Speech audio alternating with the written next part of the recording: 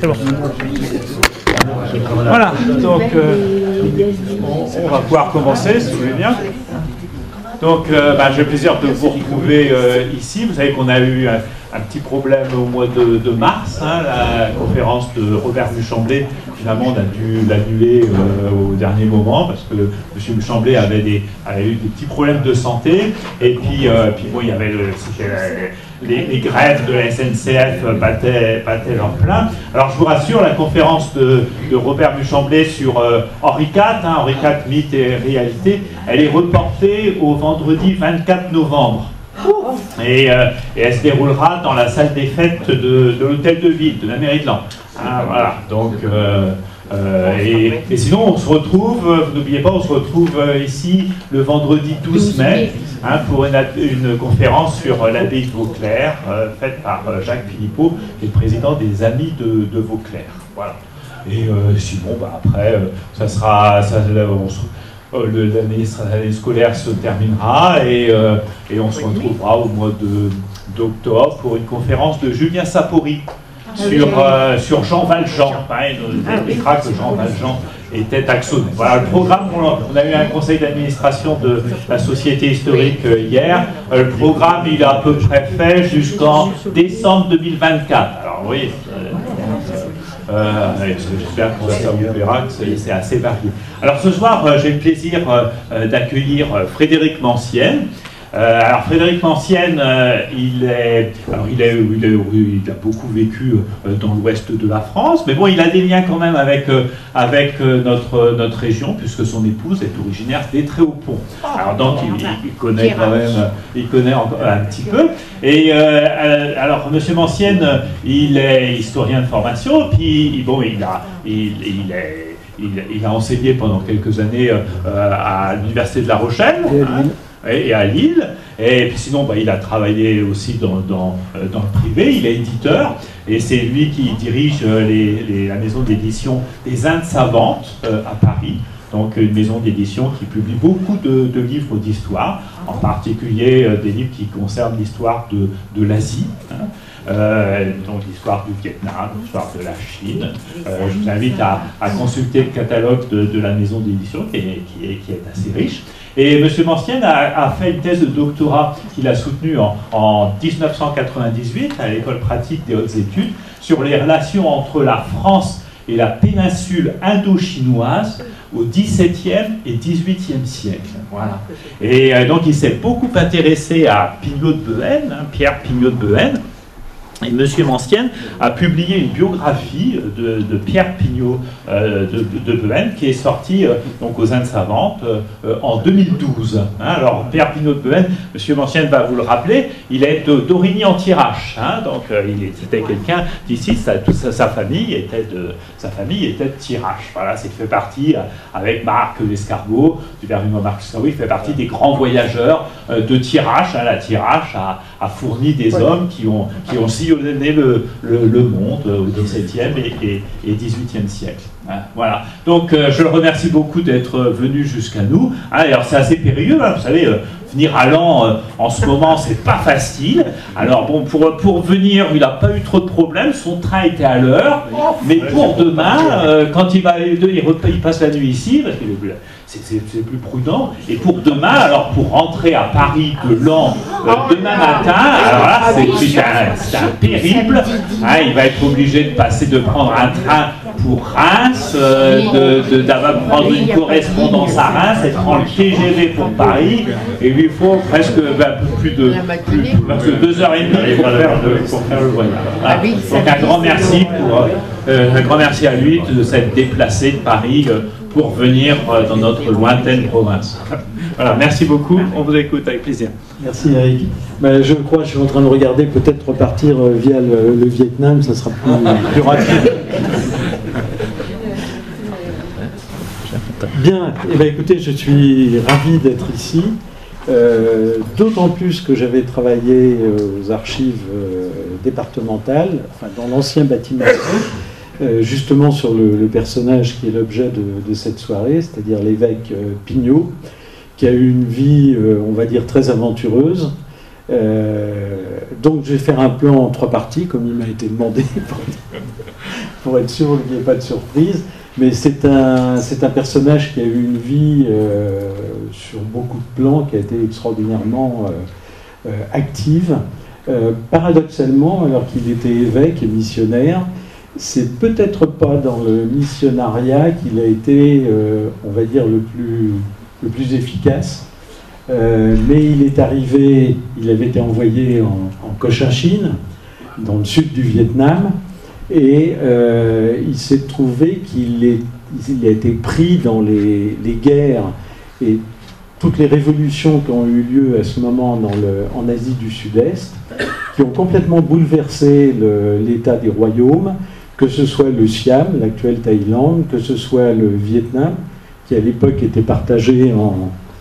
attendez, je vais retrouver la carte, qui était partagé en, trois parties, on peut dire.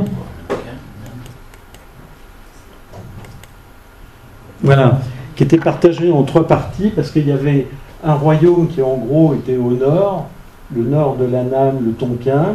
Il y avait un royaume qui était au sud, mais qui s'arrêtait en gros à Saigon, l'actuel Ho Chi Minh. Et puis vous aviez euh, encore deux parties. Euh, une partie qui est celle-ci, en gros la Cochinchine, le sud de la Cochinchine, qui théoriquement appartenait au Cambodge, était peuplé en partie de Cambodgiens. Et on peut voir encore maintenant, quand on se promène dans, le, dans cette partie, on peut voir des villages typiquement cambodgiens, euh, par l'habillement, par le, la physionomie des gens, et par l'habitat, parce que les Cambodgiens ont des maisons sur pilotis, alors que les Vietnamiens vivent au ras du sol. Donc c'est facile quand on arrive dans un village de voir si on est dans un village khmer ou dans un village vietnamien. Et puis ce qui nous intéresse davantage, tout à fait dans le sud, il y avait à la frontière entre le Cambodge et le, Cambodge et donc cette Cochinchine, il y avait une petite principauté, Atienne, que vous voyez ici, euh, qui avait été peuplée par des, réfugiés chinois au moment des grandes guerres euh, civiles entre euh, les Ming et puis les Qing qui arrivaient au pouvoir. Il y avait énormément de Chinois qui étaient venus s'installer dans le sud. Alors il s'est installé dans le sud avec la bénédiction de, l'empereur vietnamien, parce que bon, bah, les Vietnamiens étaient plus proches des Chinois culturellement que, des Khmers, et parce que ça permettait euh, finalement aux Vietnamiens de faire la stratégie du léopard, c'est-à-dire avec des, des, poches petit à petit d'occuper une région qui était Khmer.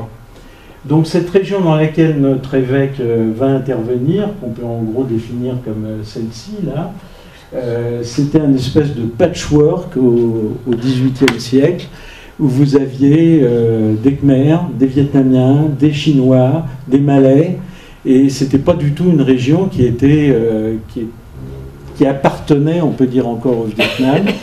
Et dans le, les 30 ans où l'évêque va être là, euh, vous allez voir qu'à travers ses, interventions et tout, il va participer activement à ce qui va être l'unification du Vietnam tel que vous le voyez actuellement sur des cartes, c'est-à-dire avec le Tonkin tout à fait au nord, la Nam au centre, la Cochinchine. Euh, il va y avoir un, homme politique vietnamien, un jeune empereur, euh, qui sera connu comme Long, son nom de règne, mais qui est connu comme Nguyen à l'époque, qui va réussir, au bout de 30 ans de guerre civile, à unifier tout ce, tout ce Vietnam et à lui donner la forme qu'on lui connaît aujourd'hui. Donc notre, euh, notre jeune évêque euh, missionnaire va arriver dans une zone qui est en plein combat, qui est en, plein, en pleine guerre civile, et on va voir qu'il euh, va y participer activement. Alors petit retour en arrière quand même, cet évêque s'appelle Pierre Pignot, alors moi je l'écris avec un X parce que, contrairement à ce que tout le monde pense, grâce aux archives départementales de l'an et euh, aux, documents de, sa famille, on s'aperçoit que c'est Pignot avec un X et que lui-même l'a toujours écrit avec un X.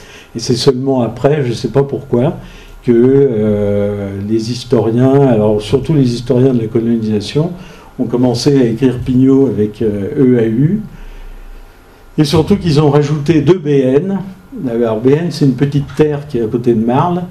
Et qui, qui n'a jamais, qui appartenait à la famille de Pignot, mais les Pignot n'étaient pas du tout nobles, il le rappellera à maintes reprises. C'est une famille de, on va dire, de la petite bourgeoisie industrielle. Hein, le père avait une tannerie à Origny et euh, d'autres amis de la famille que l'on a pu identifier à côté étaient aussi des, petits industriels, donc en, petite bourgeoisie industrielle, mais en tout cas pas noble. Mais Pignot, surtout grâce à son action au Vietnam et à la colonisation et à l'histoire de la colonisation, on l'a transformé petit à petit en Pignot sans X et 2BN. Mais je vous assure que ce n'est pas le cas. Hein. D'ailleurs, vous pouvez aller voir aux archives, tout ce que je vous dis se trouve dans les documents. Euh, donc Pignot vient d'une famille euh, honorable, entre guillemets, d'Origny, euh, famille très nombreuse. Là encore, alors la légende veut qu'il ait eu, ils étaient 19. Lui-même dit non. Partout, dans tous ses écrits, il parle de 15. Donc là encore, moi, je vais faire bêtement, je vais écouter ce qu'il dit plutôt que ce qu'on a raconté après. Euh, et beaucoup de ses frères ont été religieux. Il y en a un qui est rentré au Carme, euh, il y en a un autre qui est rentré, euh, qui a été à l'abbaye de Soissons. Donc c'était une famille certainement religieuse, mais l'évêque lui-même accusera entre guillemets ses parents à plusieurs reprises de ne pas avoir été non plus des chrétiens très chauds. Il les accuse un peu d'être tièdes de temps en temps. Euh, d'ailleurs, sa correspondance est très intéressante parce qu'il a beaucoup d'humour. Et euh, il, explique à ses parents, oui, vous, votre catholicisme est plutôt à gros grain. Alors le gros grain, c'était une forme de tissu un peu, un peu, j'allais pas dire vulgaire, mais de travail. Et donc, euh, c'est leur expliquer gentiment que leur foi était, oui, était tiède, n'était pas particulièrement mais il a toujours euh, beaucoup aimé ses parents. Et tout ce, ce que je vous dis, on, en a la preuve à contrario, parce qu'on va voir qu'à un moment donné, il revient à Versailles, euh, il est reçu à la cour, et la cour se moque de lui. On l'appelle euh, l'évêque des cuirs, ce qui n'est pas très gentil, en référence à son père qui est tanneur, et ça montre bien que c'est pas un noble et euh, on lui fait comprendre que sa condition finalement est celle d'un manant et pas d'un homme de cour. Mais on y reviendra. Donc il fait ses études euh, au collège de, de de Lan, et ensuite il va partir à Paris au séminaire des 33. C'est un bâtiment qu'on peut voir encore à Paris, qui est rue de la Montagne Sainte-Geneviève. Euh, qui sert un petit peu d'approvisionneur en, prêtres et futurs prêtres pour le fameux séminaire des missions étrangères. Le séminaire des missions étrangères, euh, c'est un, séminaire qui a été fondé au XVIIe siècle euh, par un, prêtre de Rhodes qui revenait du Vietnam Enfin, il n'a pas fondé, mais il a fortement influencé pour euh, justement recruter des missionnaires pour l'Asie.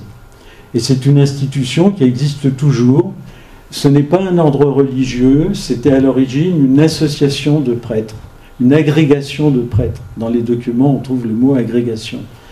Euh, donc c'était des gens volontaires qui venaient euh, travailler pour les missions et qui en repartaient. Et c'est toujours le cas aujourd'hui. Il y a des missionnaires qui, euh, quittent les, missions étrangères, pas fâchés, hein, mais qui les quittent parce qu'ils veulent faire autre chose. Et donc c'est une, c'est une, congrégation, je crois que maintenant il parle de congrégation, qui est euh, rue de Babylone et rue du Bac à l'angle, et qui est une très ancienne institution avec des bâtiments superbes. Si vous avez l'occasion d'aller au bon marché, allez voir on peut entrer, on peut voir les bâtiments.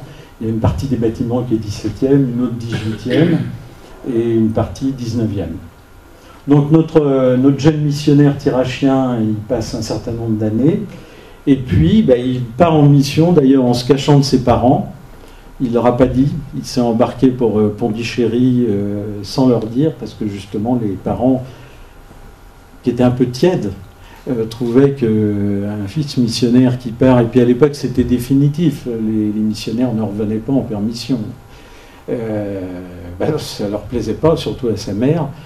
Et donc il est parti en 1775, il est parti en, mission, d'abord à Pondichéry, et puis de là, il est parti, euh, comme on l'a vu, il est parti dans cette région, à Tienne, donc à la frontière du, Cambodge, et dans cette zone un peu, c'était un peu far west, il hein, faut, bien le dire à l'époque.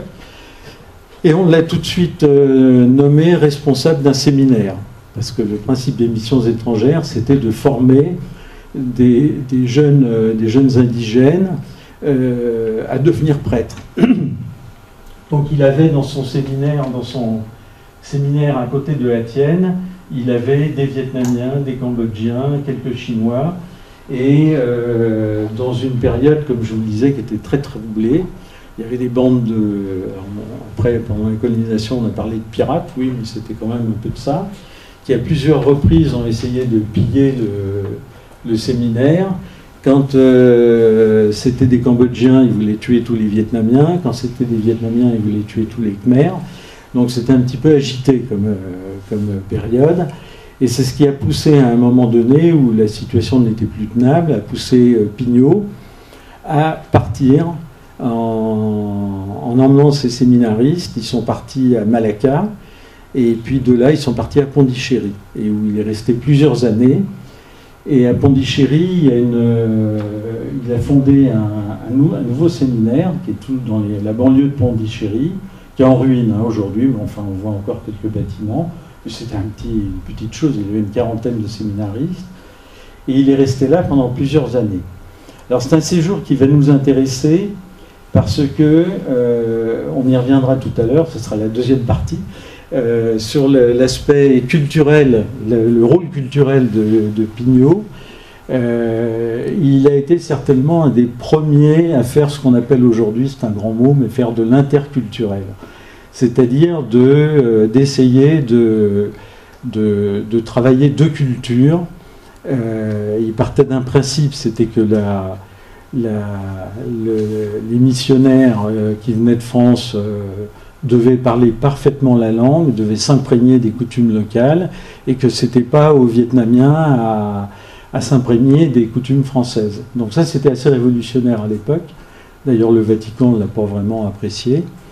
Euh, mais bon, il a, il a fait quelque chose qui est, unique, on y reviendra tout à l'heure, qui est un dictionnaire, un premier grand dictionnaire entre la langue vietnamienne, qui à l'époque s'écrivait en, en caractères, comme le, chinois, c'était une langue qui était euh, euh, largement inspirée du chinois, en tout cas dans l'écriture, et il en a fait une traduction en, latin, très intéressante, il l'a pas fait tout seul, hein. il l'a fait avec des catéchistes euh, vietnamiens et, chinois qui l'ont aidé évidemment, mais c'est un monument. Et il y en a toujours un exemplaire qui est conservé aux missions étrangères. un document absolument extraordinaire. Je vous fais juste un petit résumé de, sa vie, puis on reviendra sur, tous ces aspects après. Euh, il repart ensuite en Cochinchine, et là il fait la rencontre qui va certainement bouleverser aussi sa vie. Euh, un jeune prince vietnamien qui est le dernier survivant de la dynastie qui contrôlait la partie euh, centre-sud du Vietnam, les Nguyen, qui, qui, se réfugie dans les forêts, les marécages de la région, parce qu'il est poursuivi, évidemment on veut le mettre à mort pour, euh, pour, pour l'éliminer. On est en pleine guerre civile il y a euh, une révolte qui, s'est déclarée dans le centre du Vietnam, qu'on appelle les Tyson, et qui ont réussi petit à petit à euh, conquérir tout le centre du Vietnam et la plus grande partie de la Cochinchine. Et donc ce jeune prince, qui, avait 19-20 ans à l'époque, rencontre l'évêque, l'évêque qui euh, depuis longtemps parle couramment le vietnamien, et il y a vraiment quelque chose de spécial, une relation humaine extraordinaire qui va se développer entre notre, notre évêque, qui est jeune encore, hein, il n'a pas 40 ans, et ce, ce jeune prince. D'abord parce qu'il va lui sauver la vie, il va le cacher dans le séminaire, etc. Et se développe ce qu'en Asie on appelle la relation de, euh, de maître à élève. C'est-à-dire que rapidement, le jeune prince va comprendre qu'il a affaire à quelqu'un d'extraordinaire. Il va se mettre, euh, non pas sous sa coupe, parce que Xialong, le futur empereur Xialong, n'était pas, euh, sans faire de jeu de mots, c'était pas un enfant de cœur, hein, mais il, était, euh, il avait une personnalité extrêmement forte. Mais il n'empêche qu'il va reconnaître toute sa vie, et jusqu'à la fin, on le verra, il va reconnaître l'évêque d'Adran, devenu entre-temps évêque d'Adran, il va reconnaître Pierre Pignot comme son maître. Euh, son ami et son maître, les deux. Les deux sont indissociables d'ailleurs en Asie. Hein. Euh, on ne peut pas avoir euh, une relation de maître à, à élève ou d'élève à maître sans qu'il y ait une relation d'amitié profonde également, de respect et d'amitié. Et c'est ça qui va se développer. Ce qui se passe aussi, c'est que les Tyson, euh, donc, qui euh, descendent régulièrement dans le sud et cherchent toujours à éliminer Nguyen euh, sont sur sa piste. Les deux hommes, l'évêque et, Nguyen vont, vont, aller se réfugier dans des îles. Ah, c'est parti. Il faut la souris. La petite souris. Voilà.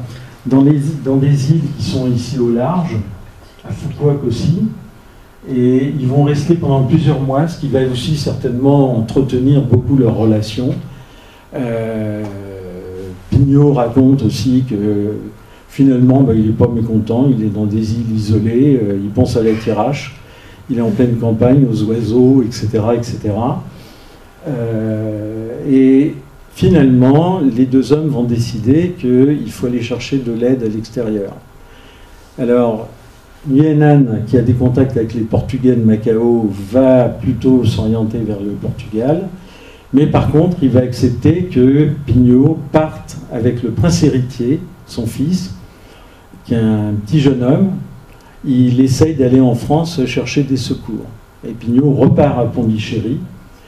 De là, euh, grâce à l'aide de, commerçants locaux et puis d'officiers euh, euh, d'officiers français, etc. Il se fait payer le, voyage, le billet, si on peut dire, euh, jusqu'en France. Et il va débarquer avec le, prince impérial, il va débarquer euh, à Lorient, et puis finalement, il va être reçu à la cour à Versailles par Louis XVI. Ils vont faire forte impression, enfin, bon, l'évêque, on avait l'habitude d'en voir, et puis on le considérait comme l'évêque des cuirs, donc c'était pas vraiment une, reconnaissance euh, très agréable, mais le petit prince va faire une très forte impression. Alors on a la chance d'avoir euh, deux portraits qui ont été faits à l'époque de leur séjour. L'un de, l'évêque, c'est celui que vous avez peut-être vu, euh, voilà, c'est lui. Il a été fait par Mauprin, qui était un des grands peintres de la cour de l'époque, parce qu'une fois de plus, Essayez de trouver le petit prince. Alors voilà le, bâtiment des missions étrangères où va habiter Pignot et le, vont habiter Pignot et le petit prince. Ils vont habiter dans le bâtiment qui est le plus ancien, qui est ici. Et euh, on voit toujours la chambre euh, de, Pignot. Hein. Et voilà le petit prince, qui est aussi peint par euh, Mauperin, avec une coiffure qui va faire sensation à la cour. On dit que les, les, grandes coiffures de Marie-Antoinette et des dames de la cour, vous savez, très hautes, avec des tas de choses dessus, jusqu'à des bateaux, ça aurait été quelque chose qui serait né un petit peu de, voilà, le prince impérial héritier, qui se retrouve donc à Versailles. C'était euh, très, très innovant hein, pour l'époque. Pignot discute avec euh, les autorités, on lui promet euh, des secours, mais il y a un traité qui est signé, parce que Pignot est arrivé avec le sceau du royaume de Cochinchine, euh, et puis toutes les lettres, comme quand il était plénipotentiaire pour le prince, le roi, on peut même dire.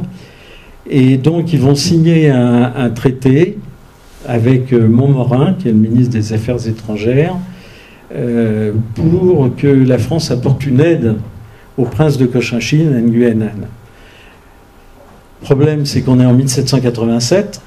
1787, il n'y a plus un sou en caisse. Euh, on a décidé de réunir les États généraux pour euh, discuter de, ça. Ils seront réunis en 1788. puis vous savez la suite de ce qui va se passer en France. Euh, et Pignot repart avec le traité en poche, mais on lui a dit oui, oui, mais à Pondichéry, le gouverneur vous arrangera une escadre avec euh, des troupes, l'artillerie et tout ce qu'il faut. Sauf que sur le même bateau qui ramène Pignot à Pondichéry, il y a des lettres du ministre des Affaires étrangères qui dit à peu près le contraire de ce qu'il a signé dans le, contrat, en disant au gouverneur vous faites au mieux, mais euh, voilà, nous on n'a pas d'argent à donner pour ça, donc voyez ce que vous pouvez faire.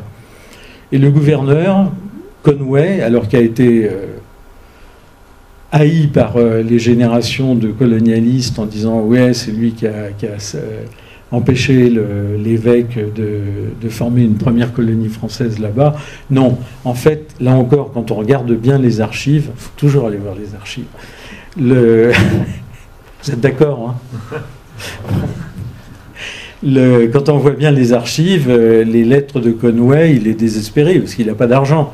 Figurez-vous que pour, euh, pour payer les troupes qu'il a à Pondichéry, il est obligé d'aller emprunter chez les Anglais à Madras, à côté.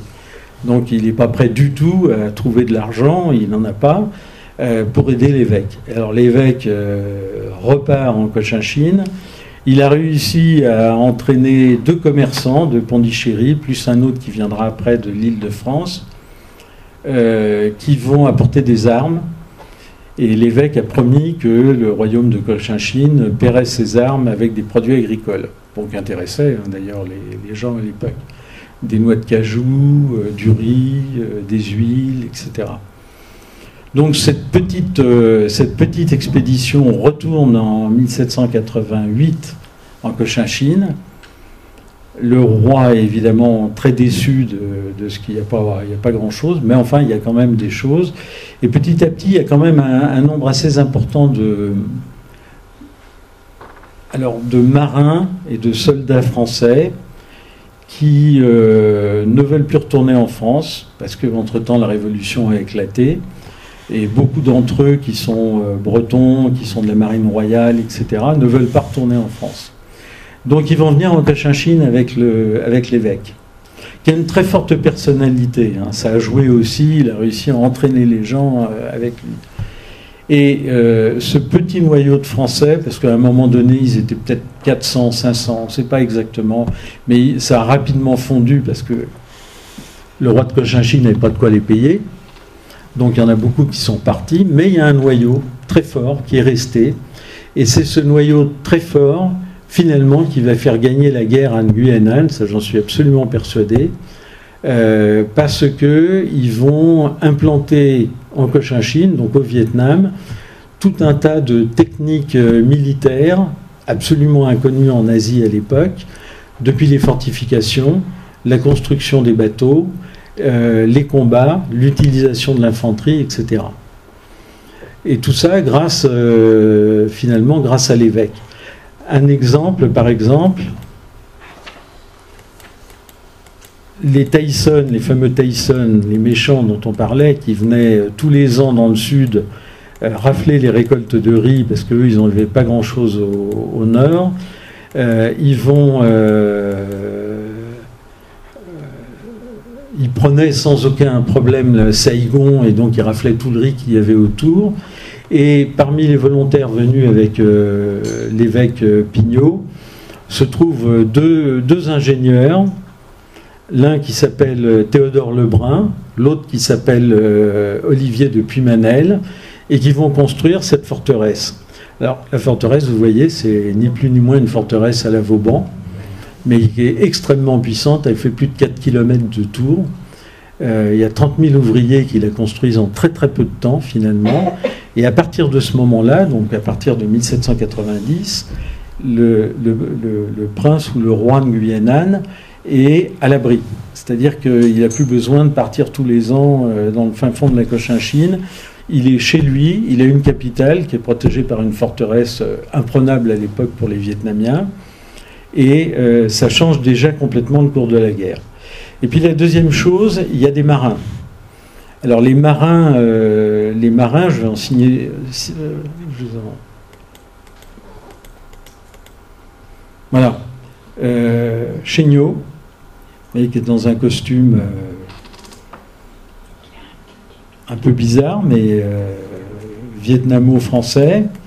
Et il y a les frères Dayo, les frères Dayo qui sont très connus,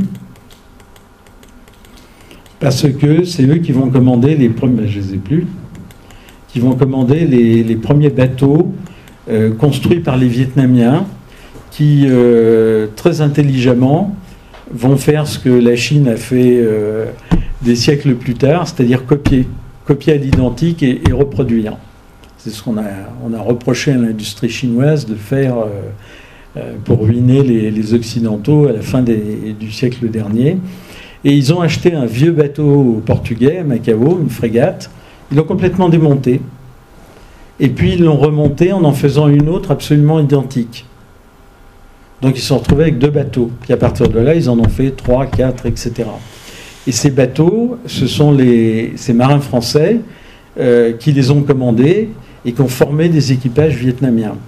D'ailleurs, avec un grand succès, ces marins français ne tarissent pas d'éloges sur les capacités euh, des, marins vietnamiens à apprendre à utiliser ces bateaux, etc. Et finalement, euh, Nguyen An va se retrouver là aussi avec une marine qui était son point faible, parce que les Tyson, eux, avaient une marine très puissante.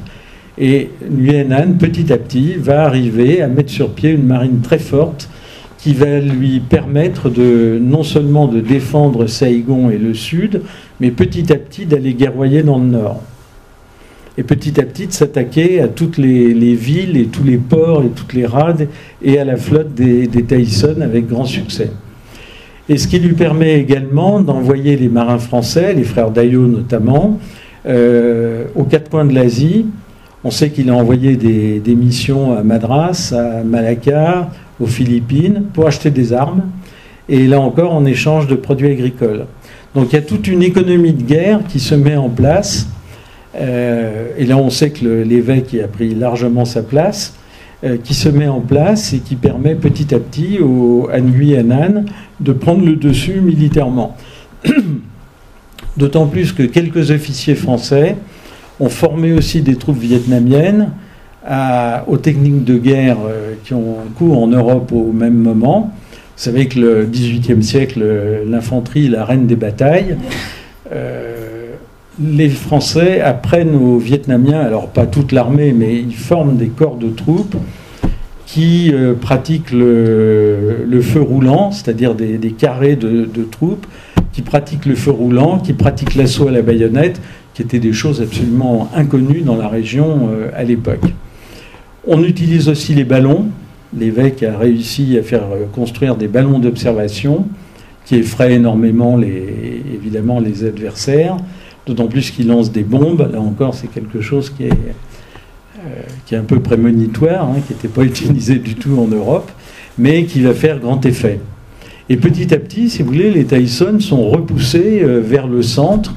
Il y a quelques grands combats navals dans lesquels s'illustrent les, Français. Et c'est d'ailleurs euh, pendant une de ces campagnes en 1799 que l'évêque d'Adran, qui comme par hasard est euh, au premier plan des combats, va mourir alors de dysenterie. Hein. Il n'est pas mort, euh, il pas mort au feu, mais il meurt de dysenterie pendant le, siège de, de dans le centre. Donc vous voyez, il a eu, euh, il a eu quand même une, une action qui a été, on va y revenir un peu en détail dans certains cas, mais qui a été immense. le, le, roi de Cochinchine euh, dira ouvertement que oui, il savait comment réduire les forteresses, il savait comment construire, euh, il savait comment faire beaucoup, beaucoup de choses. Hein. Et les Vietnamiens vont le, reconnaître, au moins à l'époque. Après, c'est autre chose. Mais ils vont reconnaître son action, euh, y compris au plan militaire, ce qui sera étouffé, évidemment, par les missions étrangères. Ils ne sont pas ravis que, leur évêque joue les prigogines dans les pays étrangers au lieu de convertir. Euh, mais enfin, ce sont les faits. Toutes les archives le montrent. On a des témoignages des Portugais euh, de Macao qui, euh, qui disent oui, oui, l'évêque est au premier rang des combats, c'est lui qui organise beaucoup de choses. Il a aidé à soutenir des sièges, il a aidé à défendre des forteresses contre les Tyson. Enfin, il est toujours là où ça chauffe, pour résumer, résumer un petit peu le, bonhomme. Il a joué certainement un rôle considérable.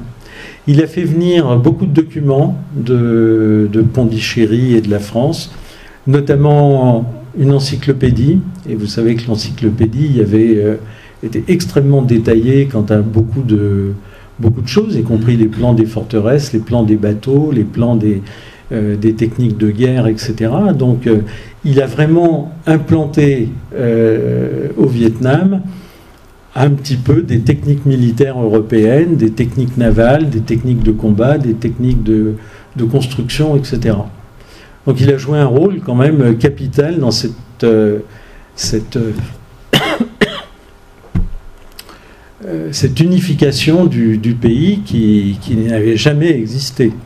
Et c'est depuis ce temps-là, l'empereur, le prince Nguyen devient l'empereur Xialong en 1802. C'est depuis ce temps-là qu'on voit le Vietnam tel qu'il est aujourd'hui. En gros, hein, deux, trois, arrangements près, ce sont les frontières du Vietnam actuel. Et il a joué un rôle capital dans cette, cette organisation. Donc ça, disons, c'est un petit peu pour l'aspect, euh, ce que j'appelle l'aspect prigogine de, de l'évêque, mais peut-être mal.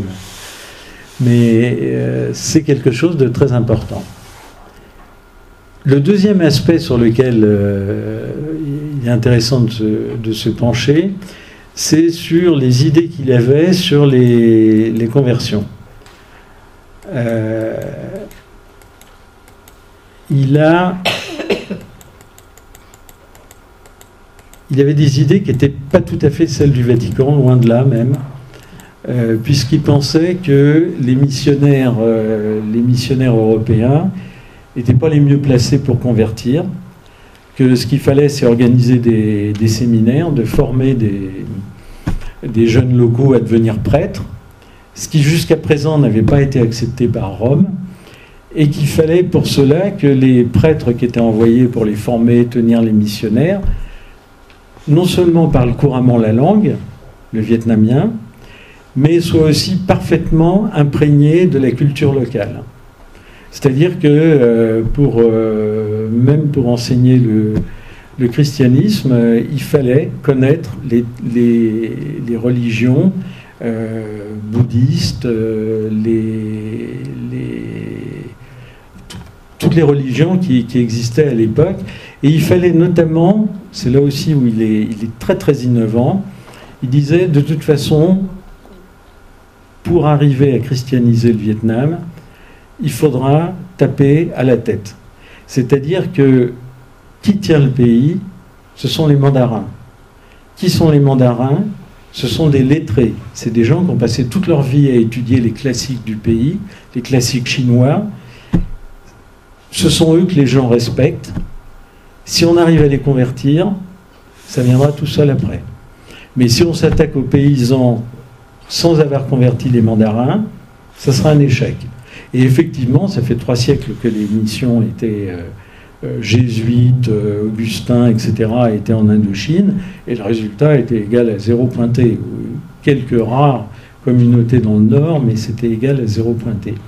Donc il introduit une on va dire, une méthodologie de la christianisation qui repose sur ce que j'ai appelé tout à l'heure l'interculturel. C'est-à-dire la nécessité absolue de parfaitement connaître la civilisation, la culture, la langue. Alors au Vietnam compliqué parce qu'il fallait connaître le chinois et le, vietnamien euh, savant.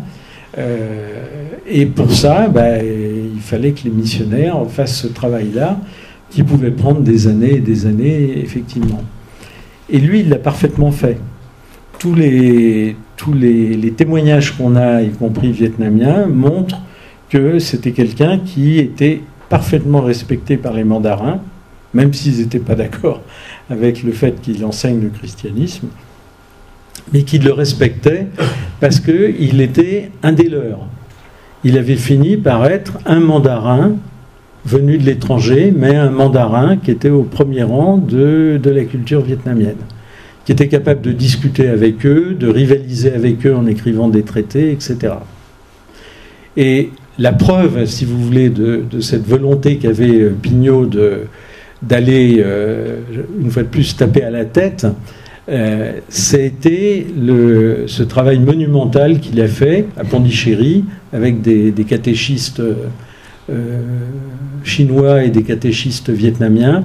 Ce dictionnaire, vous avez, euh, qui, euh, qui, est une œuvre euh, absolument époustouflante, où vous voyez en caractère plus sombre qu'il a, il a pris, parce que c'était difficile, le vietnamien, c'est pas une langue avec un alphabet, c'est une langue avec des, pictogrammes, et chaque pictogramme donne naissance à un certain nombre de développements, donc de mots. Donc il a pris toutes les racines, et puis, il les a transcrites dans une langue que les missionnaires avaient inventée il y a déjà un certain temps, qu'on appelle le Ngogu, qui était le vietnamien, écrit en alphabet romain. Donc c'était une transition pour les missionnaires pour apprendre la langue vietnamienne. Et puis traduite en, latin. Donc le, dictionnaire s'appelle le Dictionario euh, Anamitico euh, Latino. Et c'est une, c'est une œuvre absolument monumentale qui a servi pendant tout le 19e siècle et tout le 20e siècle à établir les dictionnaires entre le vietnamien et la plupart des langues européennes. Et on a conservé, aux missions étrangères, on a conservé un exemplaire de ce dictionnaire qui avait été rapporté de, de Pondichéry, qui est une œuvre euh, exceptionnelle. Euh, c'était peut-être la première pierre de ce qu'ils voyaient comme le travail des missionnaires à faire vis-à-vis de la culture vietnamienne. Et euh, je pense que, il est mort trop tôt.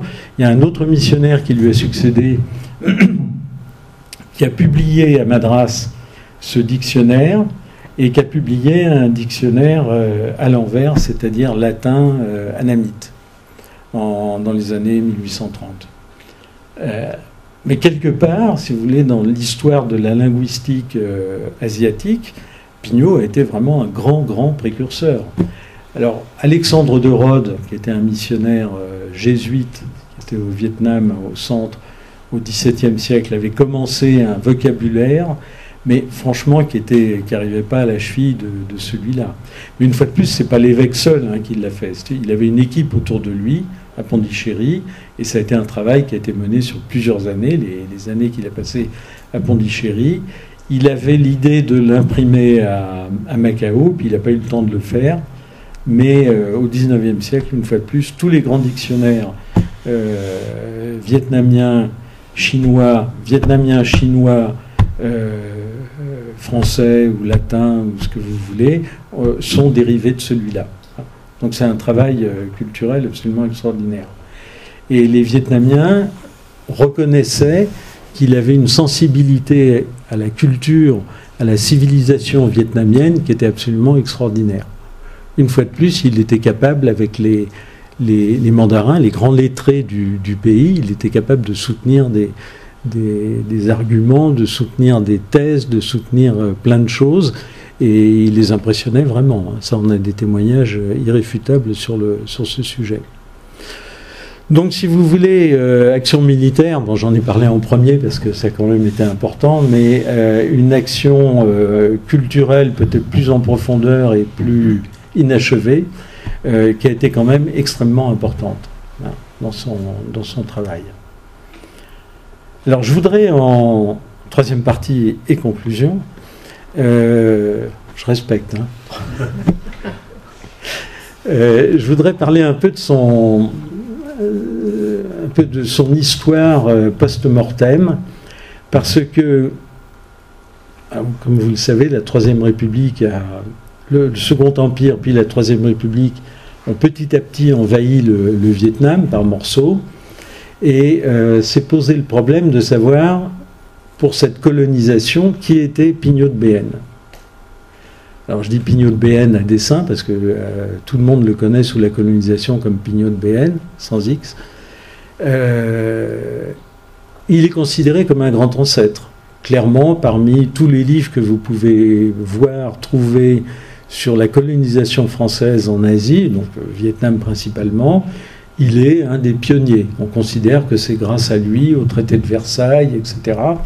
D'ailleurs, les, diplomates français n'hésiteront pas à rappeler aux Vietnamiens que oui, ils ont signé un contrat, en oubliant que c'est les Français qui ne l'ont pas respecté.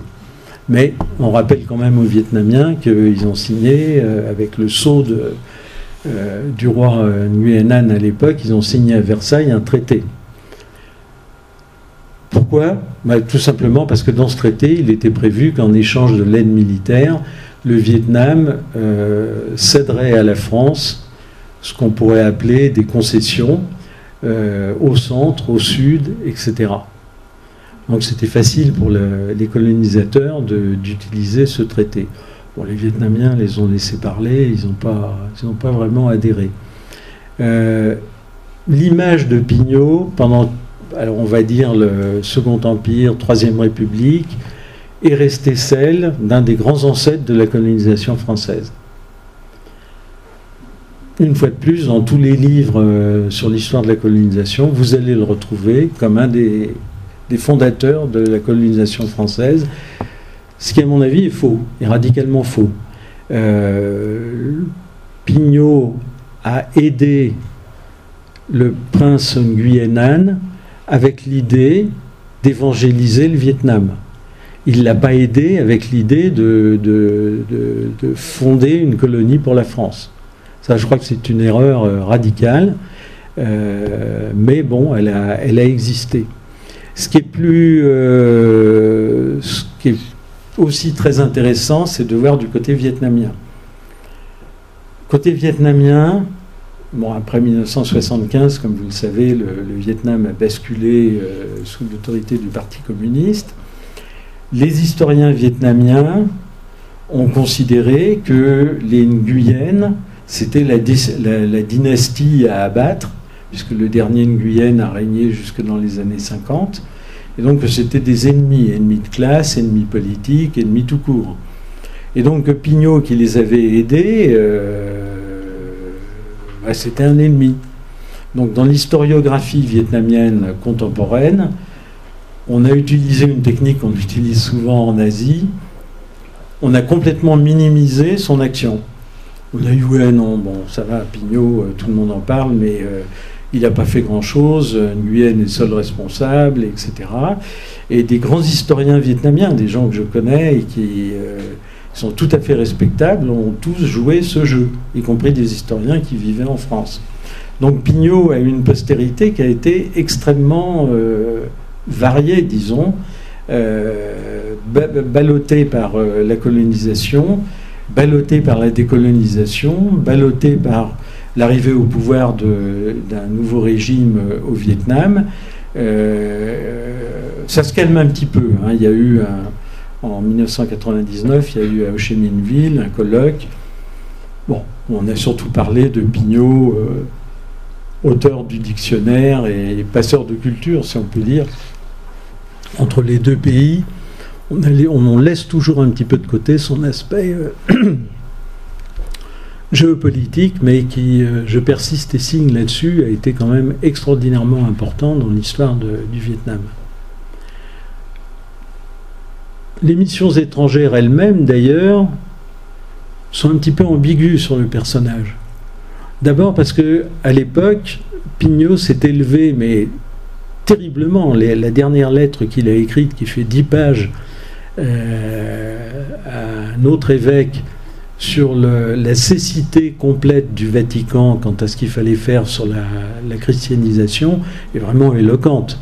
Là, il reprend tous, tous les thèmes qu'il a développés de l'interculturel, de la nécessité de, l'interculturel, notamment d'avoir des prêtres indigènes. Tout ça, euh, c'est quelque chose qu'il a, euh, qu'il a largement développé au XVIIIe siècle. Il a insisté sur le fait que euh, on ne pouvait pas faire l'impasse sur le confucianisme. On ne pouvait pas faire l'impasse, notamment sur le confucianisme, c'est-à-dire sur les mandarins, sur les lettrés, sur cette culture en Asie, ce qui était vrai en Chine d'ailleurs, aussi bien qu'au Vietnam. Et finalement, il a eu raison.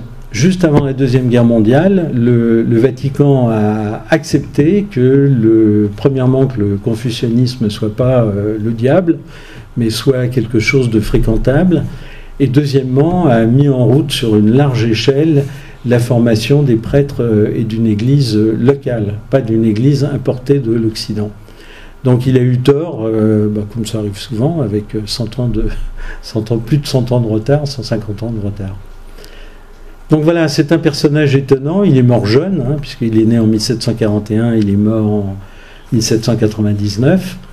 Euh, il a une vie bien remplie. Il a été évêque très jeune, à 36 ans, 37 ans. Euh, il a marqué la, finalement, il a marqué la cour de Versailles au niveau de la mode. Donc, euh, il a eu vraiment une action très variée. Hein. c'est un grand personnage. C'est un grand personnage et qui est surtout très attirant dans, les aspects, enfin pour moi en tout cas, dans les aspects culturel et interculturel dont on fait une tarte à la crème actuellement, euh, lui, il l'a largement pratiqué à l'époque. Voilà, je vous remercie.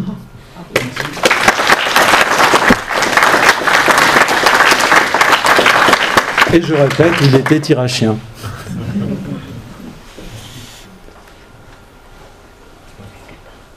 Les historiens tirachiens n'ont pas écrit sur euh, Pignot Non, pas ma connaissance. Pas ma connaissance. Monsieur, je vous remercie effectivement de cette conférence fort intéressante et le tiré-chien de service euh, d'origine non contrôlée que je suis connaît. C'est enfants, adolescents et adultes, la maison natale de Pignot Bohème au contrebas de l'église de Rigny-en-Tirage. Et en fait, j'y suis allé pour la dernière fois, parce que c'était tradition familiale euh, d'y aller assez régulièrement. En fait, la dernière fois que j'y suis allé, il y avait quelques objets ayant soi-disant appartenu Pignot de Bohème, des costumes, des objets un hmm. peu usuels. En fait, ça tombait en décrépitude. Ah Il y avait une moisissure partout, même des ouvrages, des, lettres, etc.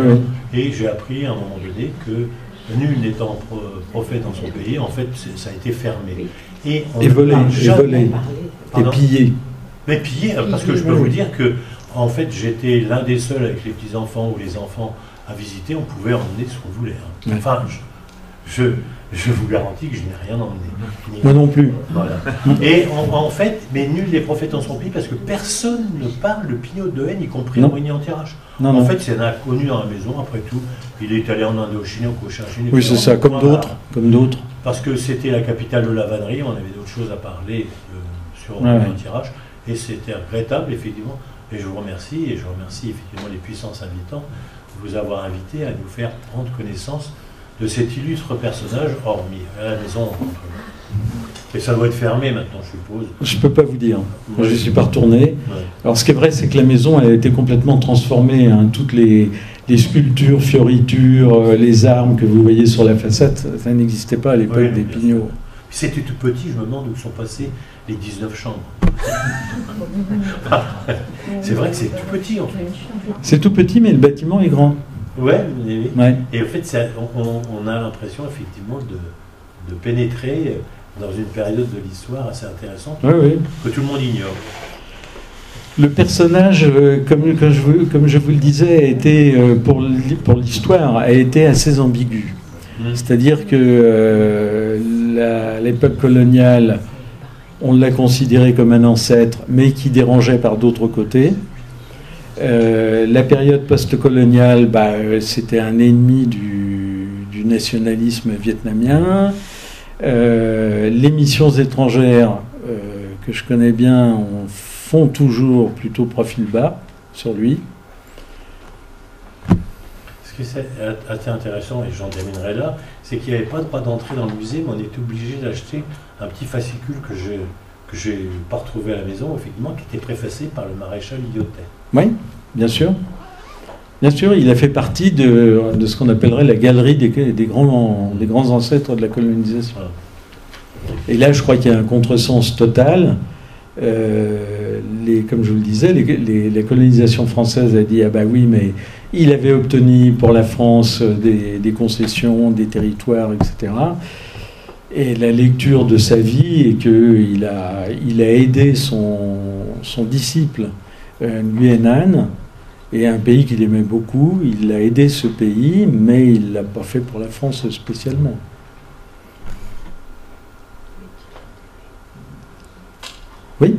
est-il enterré? Alors, il a été enterré euh, à Saigon.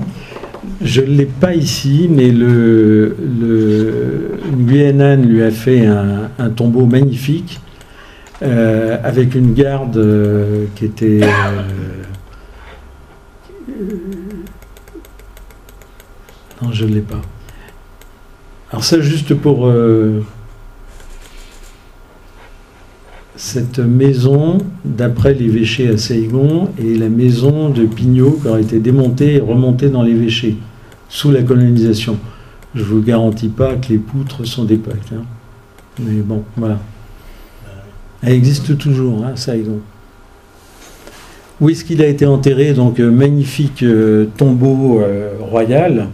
À Saigon, ce qui montre bien le, poids qu'il a eu auprès de Nguyen et dans l'histoire de la Cochinchine. Et en 1983, les autorités vietnamiennes ont décidé de supprimer ce cimetière où il y avait aussi beaucoup d'autres officiers de marine français de l'époque coloniale et tout. Parce qu'ils voulaient en faire un parc pour les enfants. C'était aussi une manière, de, évidemment, de, d'effacer la période coloniale. Donc, euh, il a été incinéré sous la surveillance du consul de France de l'époque, Jean-François Parot. Et ces cendres ont été rapatriées. Alors, je crois qu'il y en a une moitié qui était à Origny, dans dans l'église, et il y en a une moitié qui est aux missions étrangères. Et Parot a raconté, vous savez, Parot, c'est l'auteur de Nicolas Le Floch, euh, qui a été consul de France à, à Saigon pendant plusieurs années.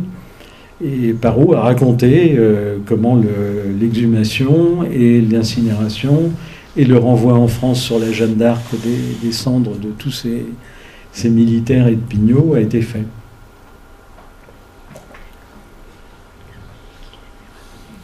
Oui, oui, je vous en prie. Une question. Euh, on suppose qu'il est entre 15 et 19 euh, frères et sœurs. Oui, Ça n'est pas très vieux en réalité. lui dit 15. Hein. Oui, 15. Euh, L'histoire n'est pas très ancienne. Ça fait, euh, puisque vous avez parlé de 1802, pour Louis XVI. Euh, dans tous ses frères et sœurs et ses descendants, Oui. personne n'a eu idée de se souvenir minimum euh, de lui, d'écrire, de faire quelque chose. Sur, sur, sur 15, il peut y en avoir un ou un demi. Alors il y en a un qui était officier, qui, euh, je sais plus, je sais plus comment de BN, parce que là ils ont gardé la particule. hein, et le- Ouais. Euh, ça, ils l'ont pas oublié, qui, euh, ouais, qui a fait des petites publications, franchement, qui n'ont aucun intérêt. Et il a une, euh, une nièce qui s'appelait Lefebvre. Là encore, le- son mari et leur descendance a été connue dans l'armée, dans la diplomatie, etc. Mais j'ai rien trouvé qui, qui, puisse, di- qui puisse nous faire dire qu'ils se sont vraiment intéressés à Tonton. hein. Et les jésuites, a-t-il eu, arrivé là-bas, de l'aide ou l'inverse? Des, des jésuites, parce qu'ils sont tout de même de la. Enfin, ils sont tout de même le, le même patron, je veux dire. Bon, ils travaillent pour la même. La même firme. Euh, C'est la même firme. Bon. Est-ce qu'il a eu de l'aide ou de. Non, parce que euh, je- si vous vous souvenez bien, les jésuites sont euh, expulsés de la plupart des royaumes européens dans les années où Pignot se trouve euh, Oui. en Cochinchine. Oui. Donc il y a plus, il y en a un ou deux qui est resté, mais euh, la plupart ont- sont partis ou ont été expulsés. Donc il n'y a pas de, il y a pas de jésuites à l'époque. Et puis bon, entre nous, les missions étrangères, et ça reste entre nous, hein. mais les missions étrangères et les jésuites, c'était euh, Ah oui, c'est pas la même école. non, c'est pas la même firme. Et qu'est-ce qu'on savait du Vietnam en France au moment du départ de Pinot? Alors, on savait pas mal de choses. On savait pas mal de choses parce que euh, il y, a, eu un certain nombre euh, d'expéditions maritimes qui ont eu lieu à différentes époques, euh, qui ont informé sur le Vietnam. Il y a les missionnaires, alors justement jésuites et autres, qui étaient installés au Vietnam depuis le XVIe siècle, qui ont écrit sur le Vietnam, donc on savait des choses. On savait des choses. Il y a une, euh, une bibliographie sur le, sur le Vietnam qui est disons, au moment où Pignot part au Vietnam, qui est, qui est quand même assez conséquente. Il y avait des missionnaires euh, des missions étrangères depuis le XVIIe siècle. Donc ils ont beaucoup écrit. hein. La grande tradition des missionnaires, c'était d'envoyer des rapports, des rapports, des rapports, des rapports. Donc on, sait des choses. Et puis euh, il y avait aussi, il y avait aussi euh, les Portugais qui étaient installés à Macao, qui commerçaient avec le Vietnam. Euh, les gens de Pondichéry euh, qui, ont aussi envoyé beaucoup d'informations. Donc les archives à droite et à gauche sont quand même relativement riches.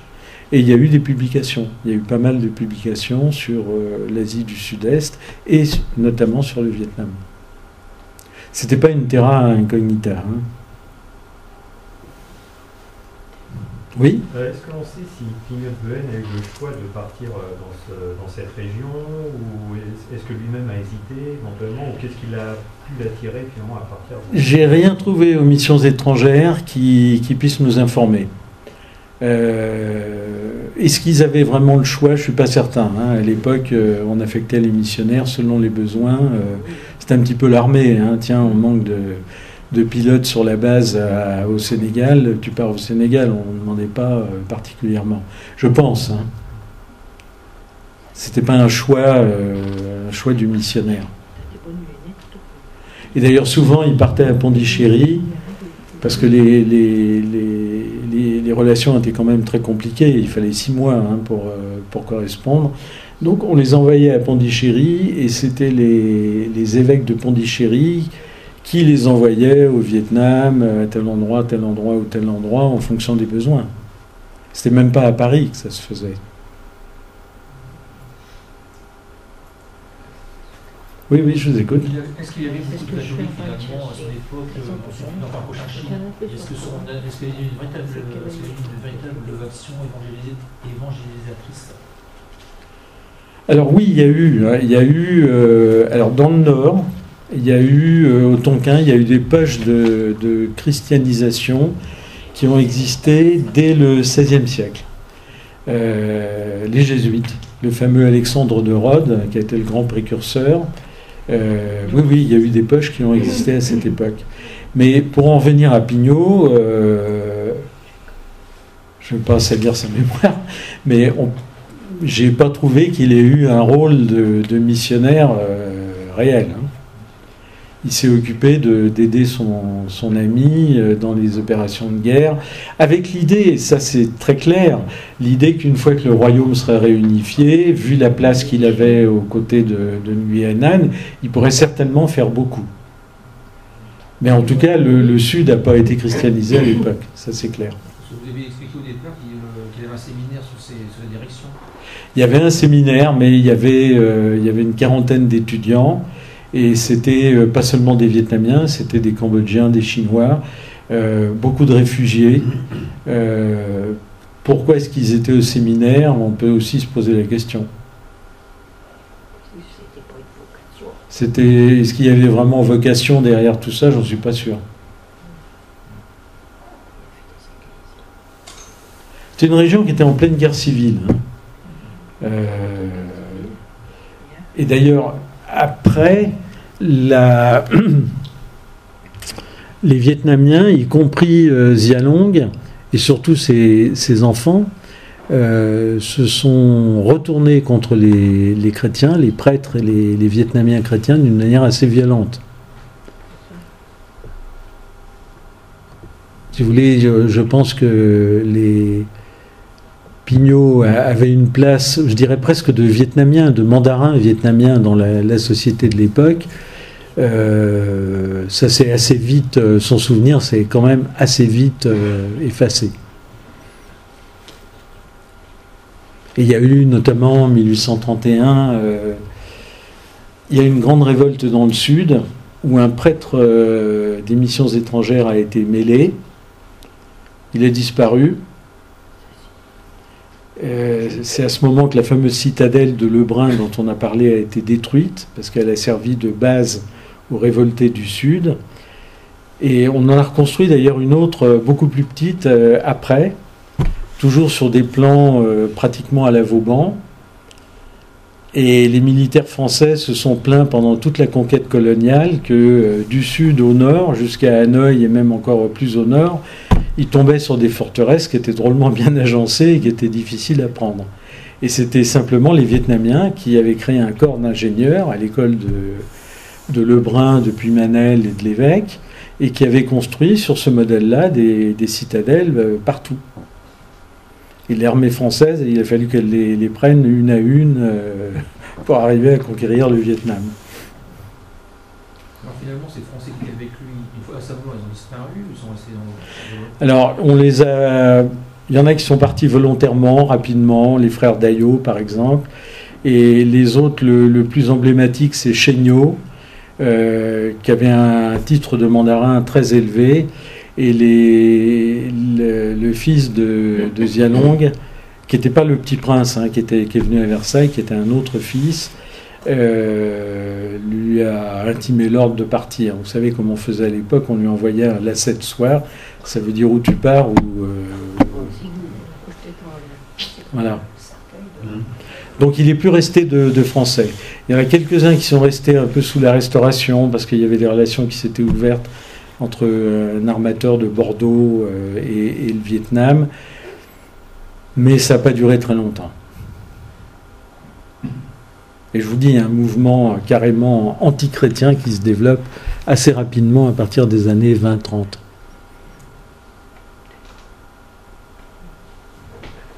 Donc c'est pour ça que je disais la- l'action mis- missionnaire de, Pignot, qui était certainement, euh, qui est certainement plein d'idées, qui a tout fait pour euh, jeter des bases, mais elle a été nulle. Ça y est, j'ai dit le mot. Les, fonctions de, de- d'évêque missionnaire et de chef de guerre sont assez contradictoires quand même. Comment il gérait cette ambiguïté-là?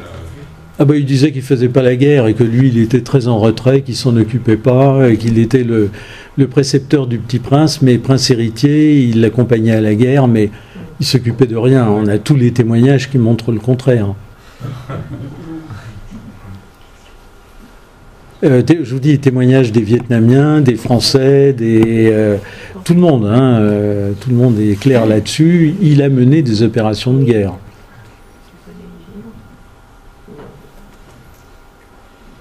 Les Hein? Ça faisait comme les Templiers, moins de soldats.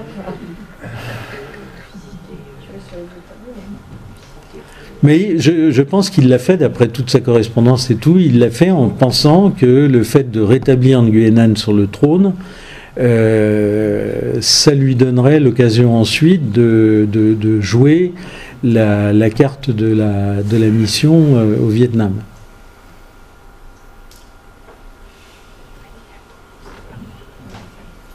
Mais c'est un personnage qui est étonnant. Hein. Et donc le prince, il ne s'est pas converti au christianisme.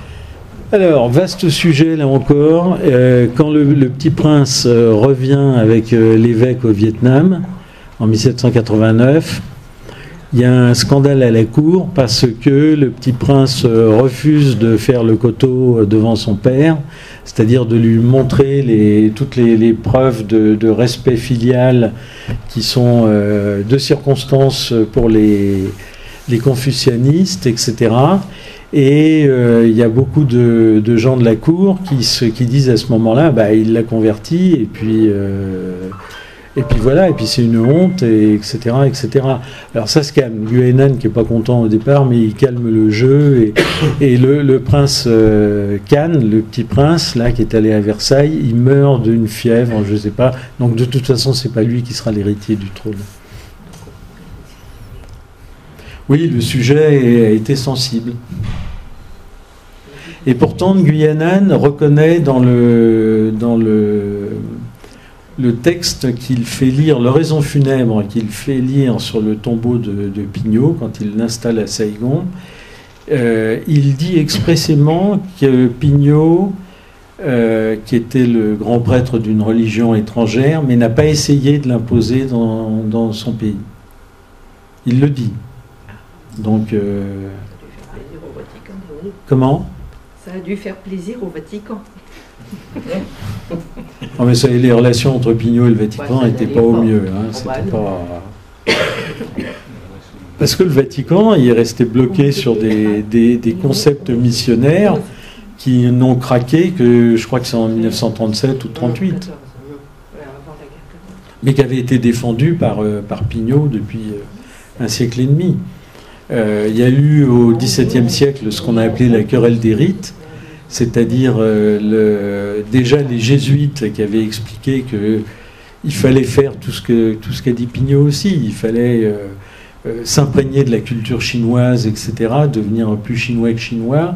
C'est pour ça que les jésuites s'étaient implantés à la cour. Vous savez qu'ils ont fait à Pékin ce, fameux observatoire qui existe toujours, hein, qu'on peut voir à Pékin, qui était tellement important pour la cour, parce que c'était à partir de cet observatoire que la cour a pu enfin euh, faire toutes les prédictions astronomiques qui régissaient un petit peu les décisions et, la gouvernance de l'Empire chinois. Donc oui, les jésuites avaient parfaitement compris le problème.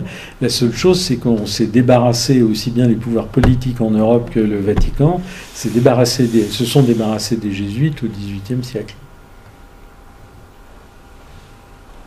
Et qu'on a reproché à Pignot de, de reprendre la querelle des rites. Merci. Merci beaucoup. Et je vous en prie.